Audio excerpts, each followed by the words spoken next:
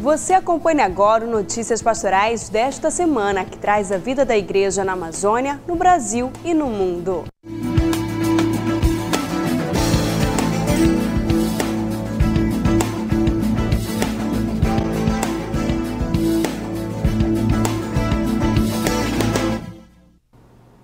Olá! Paixão, morte e ressurreição de Jesus Cristo. O maior momento de fé da nossa igreja foi vivido com celebrações marcantes na Arquidiocese de Belém. Acompanhe como foram os principais momentos da Semana Santa. A Semana Santa começou no domingo de Ramos, momento que encerra a quaresma e relembra a entrada de Jesus Cristo em Jerusalém.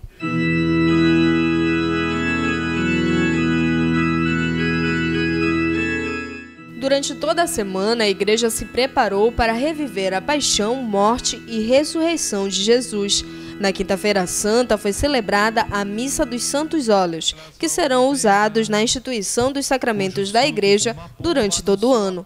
Na celebração também aconteceu a renovação das promessas sacerdotais.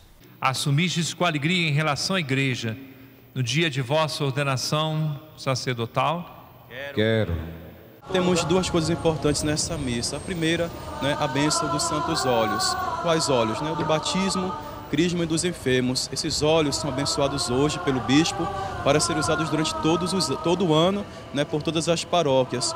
O segundo momento especial né, para nós sacerdotes. Hoje o bispo vai perguntar, né, quereis renovar as promessas que um dia fizeste perante o vosso bispo e o povo de Deus? Todos nós respondemos quero dos nossos compromissos sacerdotais, né, de obediência ao celibato, né, e tanto a nossa oração pública pela igreja, etc. Né? Então hoje é um dia especial para o clero, para todo o povo de Deus que se reúne hoje na catedral, que é a igreja do bispo. Né? À noite, a celebração reviveu a Santa Ceia do Senhor, momento em que Jesus lavou os pés dos discípulos e instituiu o sacerdócio e a Eucaristia.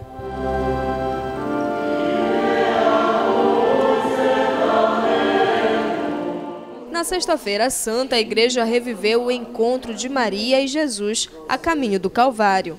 Santa Maria, Mãe de Deus, rogai por nós, pecadores, agora e na hora de nossa morte.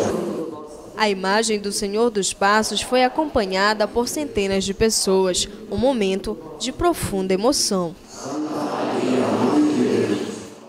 A procissão com a imagem de Nossa Senhora das Dores saiu da Catedral Metropolitana de Belém às 8 horas da manhã e seguiu pelas ruas estreitas da Cidade Velha em direção à Igreja das Mercês. A procissão contou com a participação de muitos cristãos. Todo ano eu faço esse percurso.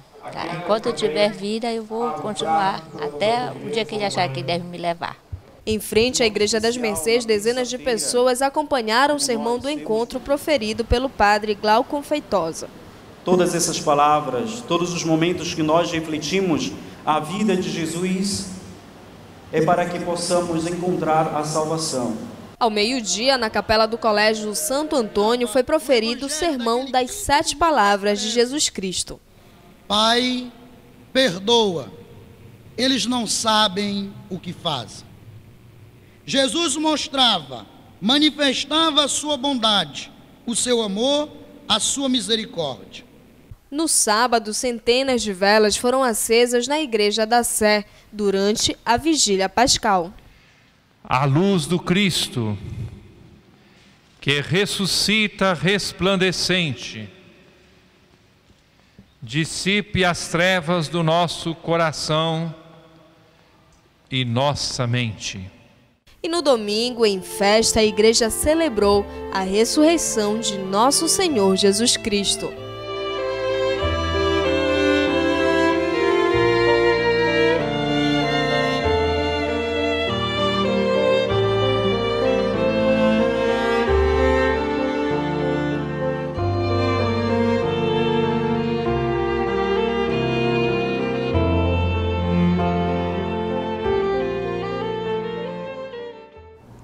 Veja como foi a primeira missa de Páscoa presidida pelo Papa Francisco. Logo cedo, o badalar dos sinos da Basílica Vaticana indicaram: Jesus Cristo ressuscitou verdadeiramente. 250 mil pessoas se reuniram para participar da missa de Páscoa presidida pelo Papa Francisco na Praça de São Pedro. No início da celebração, o sumo pontífice e toda a assembleia rezaram diante de Jesus ressuscitado, conforme uma antiga tradição. Neste dia santíssimo, elevemos unânimes nossas orações a Deus para que a alegria da Páscoa se estenda ao mundo inteiro, rezou o Papa. Ao fim da missa, o Santo Padre percorreu a Praça de São Pedro com o Papa móvel. Chegou até mesmo a descer do veículo para saudar os peregrinos. Foi muito bom ter passado a Páscoa com a família e, e a primeira Páscoa, né, celebrada pelo Papa Francisco. É, o Papa da América né, do Sul, né, o primeiro. Então acho muito legal e a família toda veio prestigiar. E em seguida, os olhares dos peregrinos reunidos na Praça de São Pedro dirigiram-se ao balcão da Basílica Vaticana, de onde o Papa Francisco dirigiu a Roma e a todo mundo uma mensagem de Páscoa e concedeu a bênção Urbi et Orbi. O Papa explicou que a ressurreição de Jesus significa que o amor de Deus é mais forte que o mal e que a própria morte e que o amor de Deus pode transformar a vida das pessoas. Jesus veio trazer esperança ao mundo, afirmou o pontífice. Pace a tutto il mondo. Rezou pela paz no Oriente Médio, paz no Iraque, sobretudo na Síria, paz na África, no leste da República Democrática do Congo, na República Centro-Africana e na Ásia. Patris et Filii et Spiritus Sancti, descendat super vos et maniat semper. Amém. Essa alegria de ser igreja, essa alegria de sermos cristãos, de poder fazer, ser promotores da paz no mundo inteiro. Feliz Páscoa, Brasil! Em Jerusalém, os cristãos se reuniram para celebrar a ressurreição de Jesus no Santo Sepulcro. Depois de mais de 40 dias de sacrifício, jejum e orações, foi possível finalmente entoar cânticos de glória. Emoção para os peregrinos que participaram das celebrações da Semana Santa nos locais da Paixão de Jesus. Depois de mais de dois mil anos, a pequena comunidade cristã da Terra Santa continua a celebrar a ressurreição de Cristo, assim como faziam os primeiros cristãos, que foram testemunhas e espalharam a notícia por todo o mundo. Neste domingo de Páscoa, milhares de peregrinos vieram celebrar a maior festa cristã, diante do sepulcro vazio aqui em Jerusalém. Foram vários dias de celebrações onde os fiéis católicos reviveram momentos marcantes da vida de Cristo, a começar pelo Domingo de Ramos, a agonia no Getsemane e a Via Sacra, passando pelas 14 estações que narram os últimos passos da vida de Jesus e celebraram ontem a sua ressurreição. A missa foi presidida pelo patriarca de Jerusalém, Dom Fuad Tual, na Basílica do Santo Sepulcro. Durante sua homilia, o patriarca agradeceu a presença de tantos peregrinos. Recordou também a importância da visita de cada um deles aos lugares santos e aproveitou para reforçar o convite ao Papa Francisco de visitar a Terra Santa. Ao término, os religiosos deram três voltas ao redor da edícula do Santo Sepulcro em procissão, momento de grande emoção para os peregrinos que tentavam acompanhar com suas câmeras nas mãos para registrar o momento. Eu participei de toda a Semana Santa e das funções. Foi uma grande emoção. Meu coração saltava de alegria. Participamos da procissão na Via Dolorosa até o Calvário e hoje estamos aqui. Então eu posso dizer que foi algo sublime, esplêndido. É algo que deveríamos fazer sempre. Esplêndida, belíssima, da rifare sempre, da rifare sempre. Para mim foi muito importante, além de tudo o que sentimos no nosso interior, eu tive a alegria de me tornar um guardião, um vigilante do Santo Sepulcro. O dia mais esperado para os cristãos finalmente chegou. É domingo de Páscoa e milhares de fiéis vieram aqui celebrar a ressurreição de Jesus na Basílica do Santo Sepulcro. A frase que eles terminaram a celebração é: Cristo ressuscitou ressuscitou verdadeiramente. Il nostro messaggio per tutto il mondo in questo giorno, in questa bellissima giornata, in questa bella messa che A mensagem para todo mundo é que esta jornada que finalizou com a belíssima missa aqui no Santo Sepulcro, onde todos fomos novamente chamados a ser luz e levar a paz principalmente para esta terra, nós queremos desejar a todos uma feliz Páscoa. Esperamos que no próximo ano possamos celebrar de verdade a paz nesta terra, porque este é um desejo de todos todos aqui. Neste domingo de Páscoa, o Papa Francisco rezou a oração do Regina Celli, que durante o período pascal substitui o tradicional Ângelus. Buongiorno e buona Páscoa a tutti voi. O Papa Francisco cumprimentou a multidão dizendo bom dia e boa Páscoa. Agradeceu a todos pela presença e fez votos de que a força da ressurreição de Cristo chegue a todas as pessoas, especialmente as que sofrem e a todas as situações mais carentes de confiança e esperança. Cristo venceu o mal de forma total e definitiva. Mas de nós, os homens de nosso tempo, espera que acolhamos esta vitória em nossa vida e na realidade concreta da história e da sociedade. Francisco lembrou que os sacramentos e a fé cristã devem se traduzir em comportamentos, gestos e escolhas da vida de cada dia. Buona Páscoa a tutti. Neste domingo é comemorada no mundo inteiro a festa da Divina Misericórdia. O Paulo Ribeiro faz parte da coordenação do Movimento Apostólico da Divina Misericórdia na paróquia de Nossa Senhora das Graças e São João Batista, em Coraci. Paulo, como é que é esse momento para vocês? Quer dizer que é a grande festa do movimento. Pois é, Laís, esse é um momento muito esperado pelo nosso movimento apostólico, onde a gente redobra os nossos esforços para louvar e bendizer o nome de Jesus, né? Esse Jesus que apareceu a Santa Faustina hoje, né, uma das nossas grandes bases do nosso movimento apostólico, né? E graças ao nosso beato João Paulo II, ela foi firmada no mundo inteiro nesse segundo domingo de Páscoa. Então, para nós é uma alegria imensa estar fazendo a vontade de Jesus, que Jesus nos pede isso através de Santa Faustina, a festa, o texto, o quadro. Então, nós estamos divulgando o amor, o carinho que Jesus tem por nós, pela sua misericórdia. E de que forma vocês vão comemorar esse dia, fazer parte dessa celebração? Pois é, então nós, temos, nós teremos a confissão também que Jesus pediu a partir das, das 14 horas até as 16 nós teremos o padre confessando as pessoas que precisarem se reconciliar com a misericórdia de Jesus. E às 15 horas teremos a grande procissão saindo da Capela de São Sebastião, lá em Coraci, lá no Cruzeiro, né? Então nós vamos percorrer algumas ruas de Coraci e de lá nós vamos chegar na Igreja Matriz, onde teremos a missa com o nosso pároco Padre Agostinho e após a missa a bênção e entronização dos quadros para voltarem aos seus lares abençoados da forma que Jesus nos pede. Agora, Paulo, o Movimento da Divina Misericórdia ele já está em Coraci há mais de 10 anos. Fala um pouquinho para a gente como é que é esse trabalho. Então, o nosso trabalho, o nosso carisma em Coraci é o carisma de ir até os enfermos, até as famílias, até as pessoas que têm problemas familiares. Né? Nós trabalhamos com os excluídos, né? que são os, os mendigos, né? os moribundos. Então nós trabalhamos com essas pessoas, porque Jesus nos pede que nós levemos a misericórdia até essas pessoas. Né?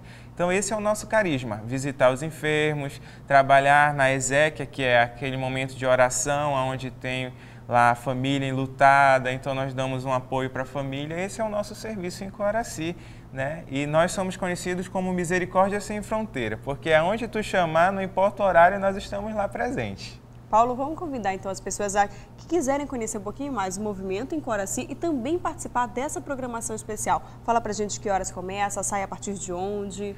Então, a nossa grande procissão vai sair da Capela de São Sebastião e Coraci e às 17 horas.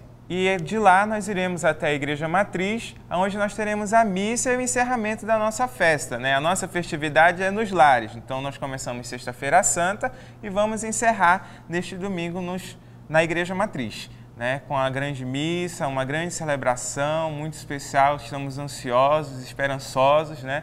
E que você esteja presente com a sua família nesse momento de fé e devoção e amor à misericórdia divina. Obrigada, Paula, pela sua presença no nosso programa. A gente agradece, deseja uma ótima festa para vocês. E o Notícias Pastorais agora vai para um breve apoio cultural e a gente volta já.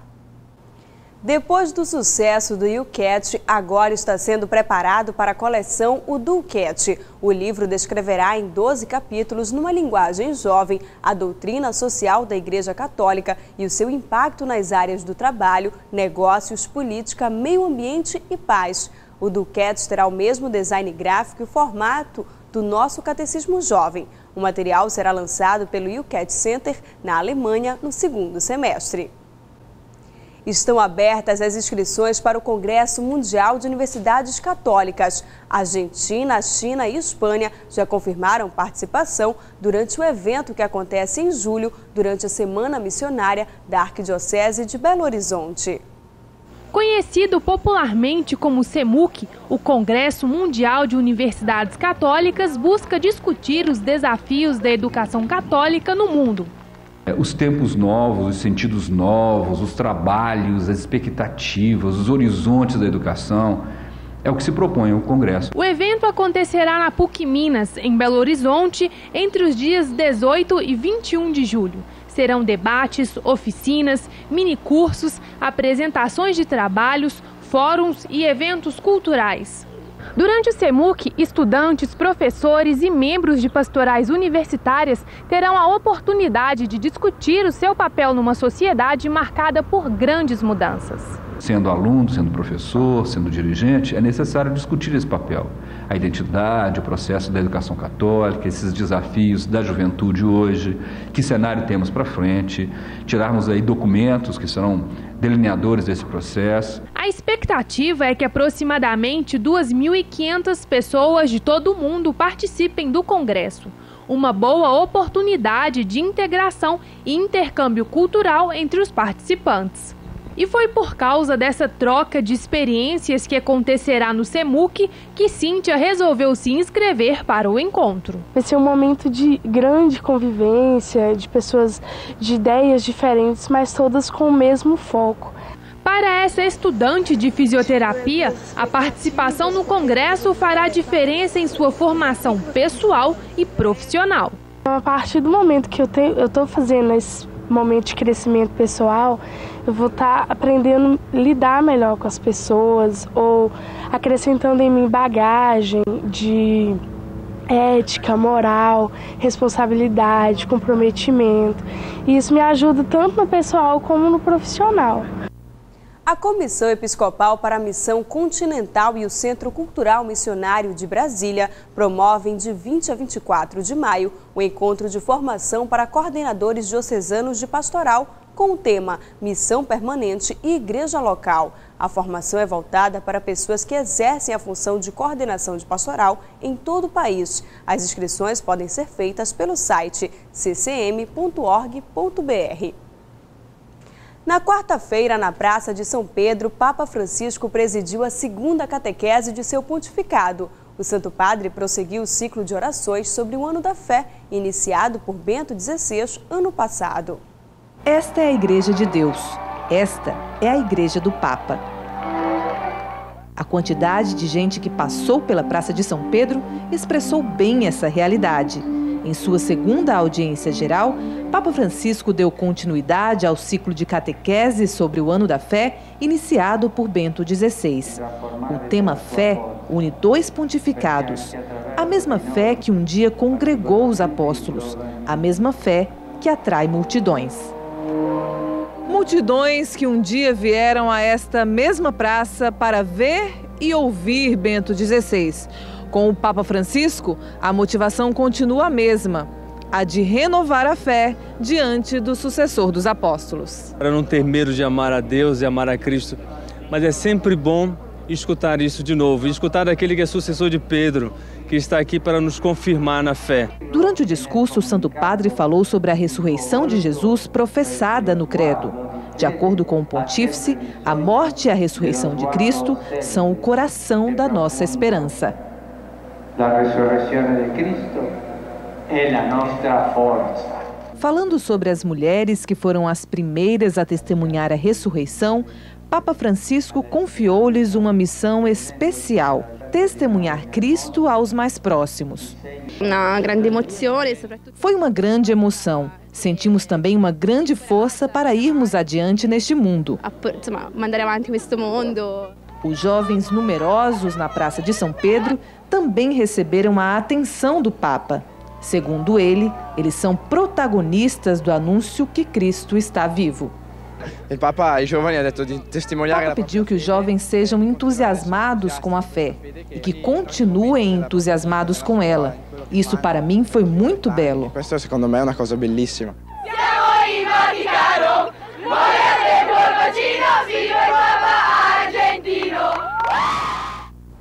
E falando no Ano da Fé, o Centro de Cultura e Formação Cristã da Arquidiocese de Belém realiza todos os sábados e domingos pela manhã o estudo do Catecismo da Igreja Católica.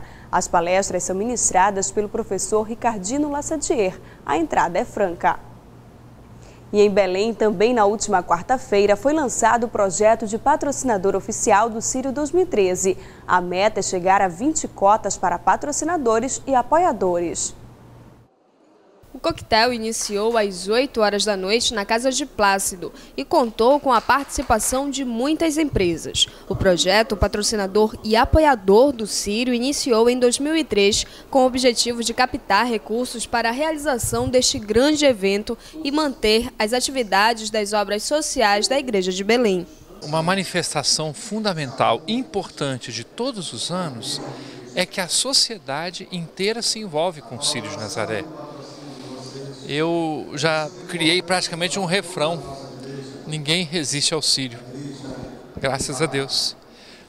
E eu retomo exatamente essa palavra, o respeito que toda a sociedade paraense tem pelos acontecimentos do Sírio, a seriedade com que o Sírio é preparado, realizado e como a sociedade toma conhecimento de tudo que acontece no Sírio, isso para nós é muito significativo.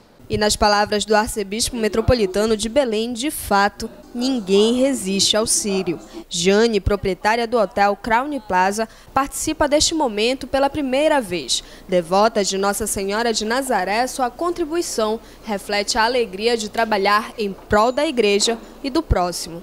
Nós inauguramos é, setembro, um mês antes do Sírio. No Sírio, nós conseguimos que ela fosse nos fazer uma visita. E a partir disso foi crescendo a vontade de participar mais efetivamente dessa festa, de todas essas obras assistenciais que fazem, né?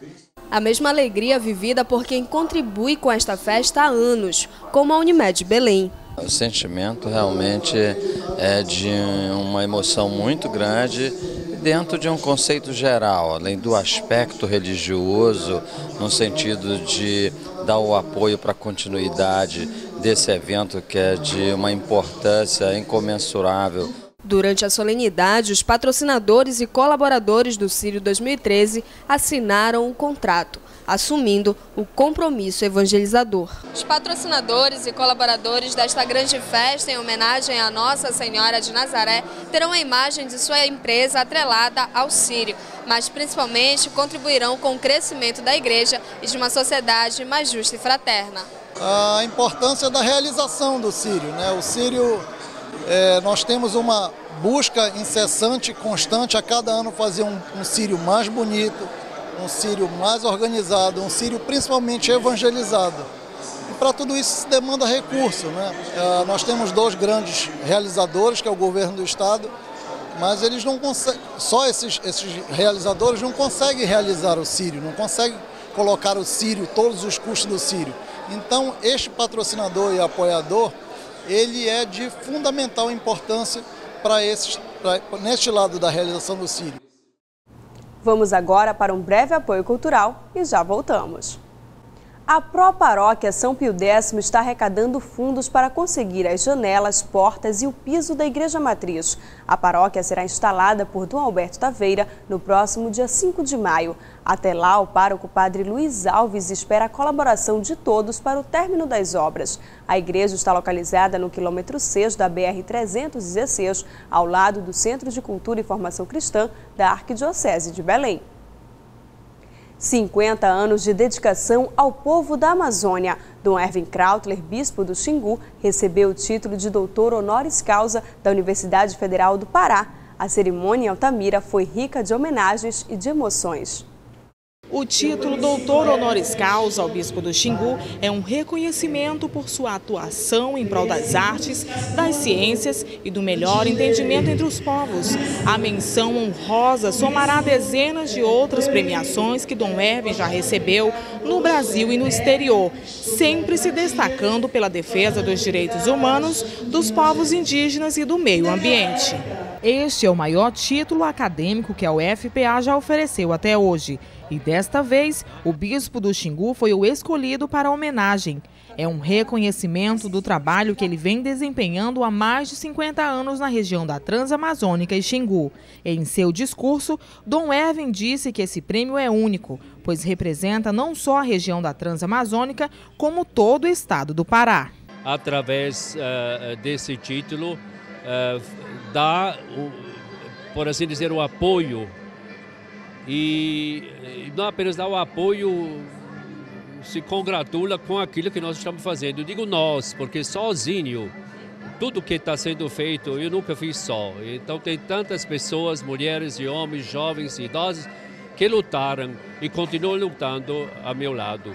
Várias autoridades participaram da cerimônia. O reitor da UFPA veio especialmente da capital para fazer a entrega do título de doutor a Dom Erwin um bispo que vem educando religiosamente seus fiéis e lutando em favor dos direitos humanos. Uma cerimônia de entrega de, de um título que para nós representa muito, tem um simbolismo extraordinário. Não apenas porque nós estamos fazendo uma homenagem, prestando uma reverência a um brasileiro, a alguém que de fato tem uma, uma participação é, social intensa, extraordinária, de muita luta, de muita coragem, mas mais do que tudo também, porque Dom, o que Dom Erwin faz tem muito a ver, tem paralelos com o que a própria universidade faz, no sentido de que tanto a ciência, quanto a religião, tanto os homens das pesquisas, quanto os homens da fé, trabalham ou valorizam sobretudo o humanismo. A coordenadora do campus da UFPA, Altamira, foi uma das pessoas que indicaram o nome do bispo para receber este título. Considerou este o momento histórico para a Universidade Federal do Pará. Às vezes, para a entrega de um a outorga de um título de uma instituição, é preciso uma, um instituto indicar. No caso de Dom Herve, foram 111 institutos que confirmaram, que legitimaram a outorga de grau de doutor em honoris causa ao Dom Herman Krauton. E nós estamos muito felizes por isso. O procurador da República no Pará, Felício Pontes, também foi um convidado de honra para prestigiar a homenagem ao bispo.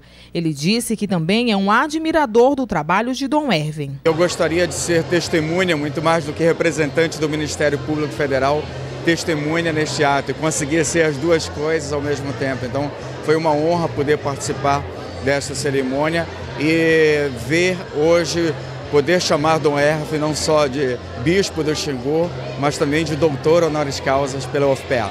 Embalado pela utopia da paz, música que reflete a trajetória do trabalho de Dom Erwin, o público cantou e encerrou a cerimônia.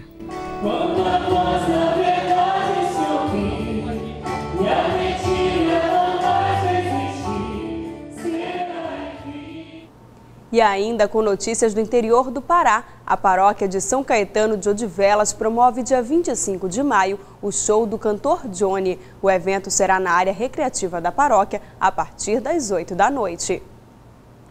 Uma festa popular realizada em Guaratinguetá, no interior de São Paulo, há 256 anos. São Benedito é festejado em abril e não em 5 de outubro, data dedicada ao santo no calendário litúrgico. Tradicionalmente, os trabalhadores dos cafezais vinham com seus patrões para as celebrações de Semana Santa e optaram então por antecipar a festa de São Benedito, uma vez que já estavam na região. O pároco da Igreja do Puríssimo Coração de Maria explica o significado dessa festa. Em primeiro lugar, honrar o nome, a vida e a história de São Benedito, né? A gente vê que o povo tem um carinho muito especial pela pessoa de São Benedito. E depois também procurar no seu modo de vida, na sua vivência, viver as virtudes, viver o evangelho como São Benedito buscou viver na sua vida. Músicas, festa e muita devoção. Vestidos a caráter, alguns com roupas de gala. É assim que os fiéis devotos de São Benedito fazem o cortejo ao Santo Negro. Manifestações de corações cheios de fé. E foi deste modo que a corte da Irmandade de São Benedito entrou na igreja dedicada ao santo, onde a Santa Missa foi celebrada pelo arcebispo de Aparecida, Dom Raimundo Damasceno. Nós desejamos que a devoção aos santos não fique apenas na parte externa, na sua veneração exterior, Nós queremos que, de fato, os santos sejam vistos como modelos de vivência do Evangelho. E, como tal, nós queremos que os fiéis devotos seus também procurem viver o Evangelho na sua vida. Momento muito esperado pelos fiéis é a distribuição dos doces de São Benedito. Este ano foram fabricadas 3 toneladas de doces de abóbora, mamão e de batata doce. Fartura fruto das doações dos fiéis. Eles foram abençoados por Dom Damasceno para em seguida serem entregues aos devotos que aguardaram na longa fila. É porque eu sou muito devoto de São Benedito. É, vale a pena? Vale muito a pena. Assiste a missa e depois vem pra cá. Já é uma tradição de família, todo ano a gente vem pegar o doce, é sagrado. Vale a pena, a gente fica aqui uma hora, duas horas na fila, mas não sai sem pegar o docinho. Em Ananindeua, na região metropolitana de Belém, a paróquia de São Vicente de Paula está com inscrições abertas para o casamento comunitário. A programação inicia dia 12 na Igreja de São Vicente, no Conjunto Paar. E a partir desta quarta-feira, dia 10, os bispos de todo o Brasil estarão reunidos em Aparecida, São Paulo, na 51ª Assembleia Geral. E para ampliar os canais de comunicação do evento, a CNBB criou uma página oficial no Facebook. Durante a realização da Assembleia serão postados diariamente conteúdos na página como vídeos, coletivas de imprensa, boletins em áudio e galeria de fotos. A Assembleia Geral dos Bispos do Brasil acontece até o dia 19 de abril. E o programa está terminando. E se você quiser acompanhar as reportagens exibidas aqui no Notícias Pastorais, você pode acessar o portal da Fundação Nazaré e conferir todos os vídeos. Você também pode contribuir com Notícias Pastorais. Envie a programação do seu evento para a gente. Nosso e-mail é np.fundacionazaré.com.br. Se você quiser, pode encaminhar direto para a Fundação Nazaré, na Avenida Governador Zé Malcher, número 915, ou ligue para 4006 9211. E obrigada pela companhia. A todos um ótimo final de semana. A gente se encontra no próximo programa. Até lá!